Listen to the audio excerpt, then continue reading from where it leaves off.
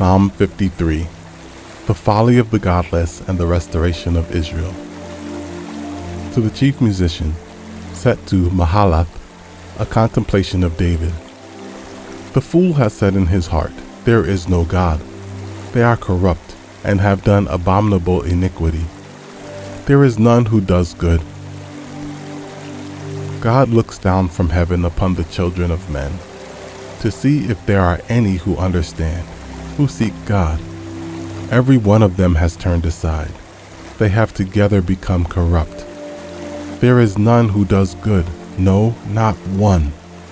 Have the workers of iniquity no knowledge, who eat up my people as they eat bread, and do not call upon God?